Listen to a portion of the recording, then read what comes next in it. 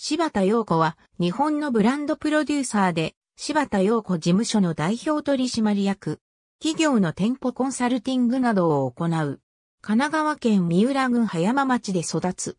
大学卒業後は外食企業に入社し、新規業態開発を担当。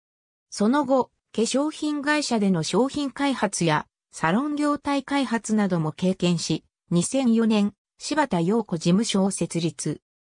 セブンアイ・ホールディングス、グランツリー武蔵小杉総合プロデューサー、ミラノ国際博覧会における日本館、レストランプロデューサーを務めるほか、東急電鉄、ログロード大観山、渋谷ヒカリエ、ローソン、ウチカフェスイーツ、パレスホテル東京7両院施設、東京会館、東急不動産、東急プラザ、渋谷などのブランディングに携わる。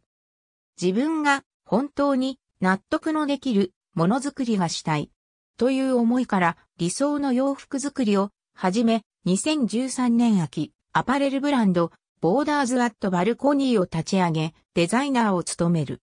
柴田陽子が校長を務める人間力を育てる学校、芝ジムアカデミーが2021年10月に開校。1990年、聖戦女学院中学高等学校卒業。短大を卒業後、シカゴの大学へ留学。卒業後は外食企業に入社し、新規業態開発を担当。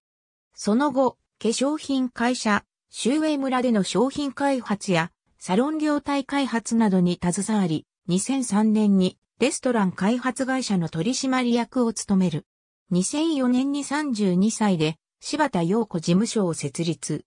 ブランディングプロデューサーとしてコーポレートブランディング、店舗プロデュース、商品開発など、大技にわたるコンサルティング業務を請け負う。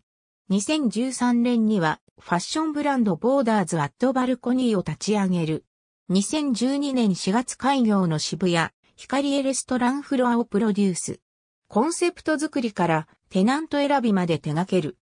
2014年セブンアイ・ホールディングス、グランツリー武蔵小杉総合プロデューサーを務めたほか、2015年、東急電鉄による商業施設出展、大韓大和横線上部開発計画をプロデュース、2015年ミラノ国際博覧会における日本館のレストランプロデューサーを務める。